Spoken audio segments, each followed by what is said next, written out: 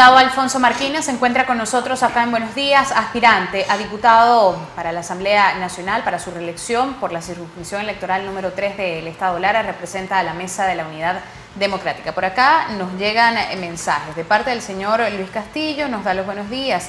Dice por acá, egoístas son ustedes, mezquinos, ustedes fuesen eh, de alguna manera visto a los pensionados en el Bicentenario, gente humilde y con mucha necesidad, cobrando su dinero. Mil bendiciones para el presidente, sea como sea, ganaremos la Asamblea Nacional. Otro de los mensajes, usted es un infiltrado acá en el Estado Lara, aquí no hay régimen, tremenda dictadura, cuando ustedes hacen y dicen lo que les da la gana, al igual que lo que critican.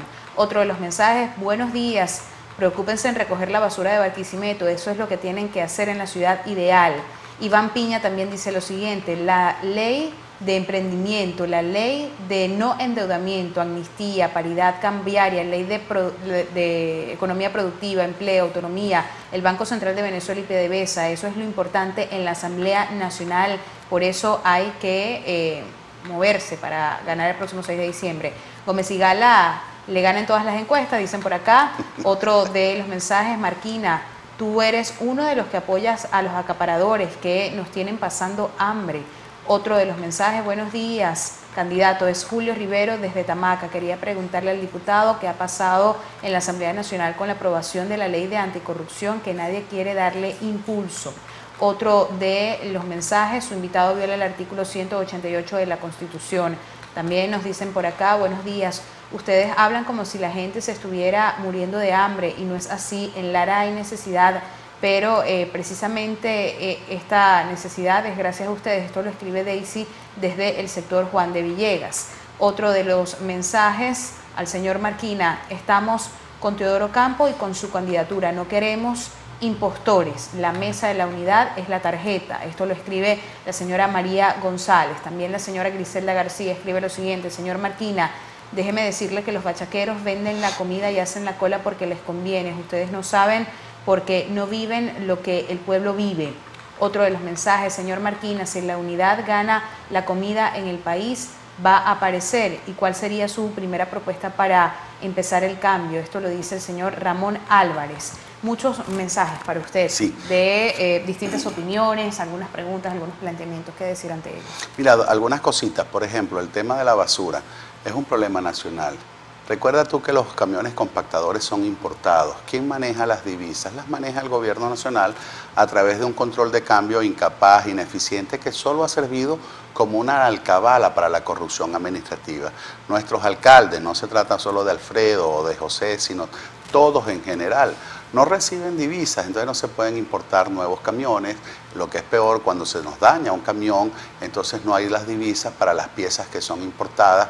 Cada persona que nos está viendo, que tiene un carro, sabe las dificultades que tiene cuando, por ejemplo, se le daña una batería a su carro. Bueno, el ciudadano común tiene dos opciones deja su carro porque no puede sacarlo, se va en la ruta o sencillamente paga un sobreprecio para poder acceder a esa, a esa batería. Bueno, nuestros alcaldes no pueden hacer eso. Un alcalde no puede pagar un sobreprecio por una batería, no puede pagar un sobreprecio en unos cauchos y lamentablemente cuando ese camión se queda parado por un repuesto, es un sector en el cual hay problemas para la recolección de, los desechos sólidos. Y lo mismo pasa con nuestras patrullas. Nuestro gobernador tiene una cantidad de, de patrullas paradas que van prácticamente sacando un repuesto de una patrulla para dejar otra operativa, pero cuando vienes a ver, el parque de, patrullas policiales está reducido a menos de la mitad y nuevamente está el control del gobierno nacional que hoy te centraliza todas las compras, no solo en patrullas, sino también en el equipamiento de nuestros funcionarios policiales. Por eso es necesario entender que la rectificación del sistema económico, de este sistema económico que fracasó en Cuba y que ha fracasado en todas partes del mundo, y que el señor Maduro se empeña en imponer a los venezolanos, es lo que eh, vendría a resolver muchas cosas, con el agravante de que en el estado Lara todos sabemos que a la gobernación de Lara solo se le manda, y ni siquiera completo, recursos para medio pagar sueldos, mientras que el grueso de la inversión se manda a una corporación que sirvió como una especie de, premio de consolación a los derrotados por el pueblo de Lara y que hoy la conocen todos los habitantes de este estado como Corpo Matraca, porque solo ha servido para que esa, en esa institución algunos se den vidas de reyes, mientras que el pueblo no ve la inversión real en la solución de sus problemas. Ahora bien, ¿cómo se resuelve? La escasez produciendo. ¿Por qué hay cola, mi querida señora? Porque lamentable el gobierno nacional solo manda a las grandes cadenas pequeñas cantidades de alimentos, pero toda la red de comercialización que hay en Venezuela está desabastecida. Esa es la verdad y por eso usted ve la cola, son en cinco o seis puntos de comercios grandes, pero es que en las bodegas pequeñas, como era antes, ya usted no lo consigue. Mira, cuando, cuando antes uno quería comprar un frasco de mayonesa, yo no iba a un supermercado ni a un hipermercado, yo mandaba a mi hijo mayor a que me la comprara en la bodega de la esquina. Más bien el problema era que el muchachito se me devolvía y me preguntaba, señor Martina, eh, papá, ¿qué quieres tú? ¿La mayonesa es Kraft, es la Mavesa, es la Torre del Oro, es la Helmut? Te daba seis, siete opciones para que tú decidieras por calidad, por precio, por tu gusto. Bueno, hoy eso no se puede hacer. Entonces, ¿Por qué ocurre esa? Nuevamente por las políticas de expropiación y de confiscación. Te voy a poner un solo ejemplo. Venezuela tuvo más de 230 años con tradición exportadora de café. Es decir, todo el café que consumíamos los venezolanos los últimos 230 años se producía en Venezuela. Pero además teníamos siempre un excedente en la producción de café que nos permitía generar divisas para Venezuela. Antes de que apareciera el petróleo en Venezuela, Venezuela vivía de la exportación del café y del cacao. Bueno, hoy el 44% del café que consumen los venezolanos es importado. ¿Qué significa y Eso, y eso es el resultado, disculpa rápidamente, de que el gobierno de Nicolás Maduro confiscó y expropió el 80% de las torrefactoras venezolanas. Y los que están al frente de esas torrefactoras ahora prefieren comprar café afuera porque eso les deja comisiones en dólares a través del régimen cambiario, que en vez de incentivar la producción nacional, porque eso le da riquezas al pueblo de Venezuela. ¿Qué significa para usted el hecho de que en este momento Nicolás Maduro y quizás el equipo de campaña, y he visto divulgaciones por distintos medios, hablen de ir a la asamblea como sea, de realizar eh, eh, una campaña como sea, recorridos y movilización como sea. Manifiestan que hay organizaciones dentro del gran pueblo patriótico del Partido Socialista de Venezuela, pero al mismo tiempo, y la semana pasada el presidente de, la República, Nicolás Maduro, hablaba de salir a la calle si era necesario, si eh, de alguna manera salir a la calle salir a la calle, ojalá saliera, acompañar Ojalá saliera a las calles y viera lo que está pasando el pueblo venezolano. El problema es que el señor Maduro se la vive viajando y regalando el dinero a los venezolanos y no se da cuenta que efectivamente hay colas, que no se da cuenta que efectivamente el pueblo no está comiendo tres veces al día, sino que está comiendo una que muchas veces lo que consumen es un poquito de carbohidratos, pero que no hay un consumo calórico que garantice el desarrollo de, cada venezolano. Es decir, Ojalá el gobierno saliera de verdad a la calle, y y que, pero que no lo haga con ese tono de amenaza, que vuelve a ser parte de esa campaña de desmovilización. Él sabe que está perdido, entonces te dice, si gana la oposición va a haber conflicto, yo me voy a ir a la calle. Señor Maduro, respete al pueblo de Venezuela, y señora Tibisay Lucena, usted que vive pidiendo respeto a las normas, por favor, exígele al señor Maduro que él no puede estar en campaña, que él no puede utilizar los fondos públicos para beneficiar a los candidatos del gobierno, que él no puede estar utilizando las cadenas de radio y, televisión para presentar los candidatos, que aquí no podrían haber candidatos que actúan como que si fueran ministros. Eso es una violación a la ley anticorrupción que alguien mencionaba anteriormente.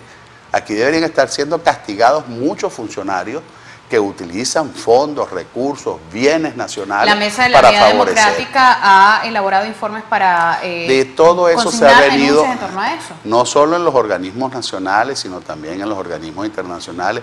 El mismo grupo este de observación que recogió el gobierno, eh, que, que invitó el gobierno nacional, está recibiendo esas denuncias, por ejemplo ¿Cómo es que ayer vemos al defensor del pueblo hablar sobre las declaraciones del presidente electo Macri en Argentina y no ha abierto su boca para decir algo sobre lo que ocurrió en Petare, donde vimos a militantes del partido de gobierno con armas de fuego, con armas largas, reprimir un acto de campaña? ¿Qué es eso? Eso es lo democrático, eso es lo que la señora Tibisay Lucena decía que tenemos que acatar y que tenemos que reconocer.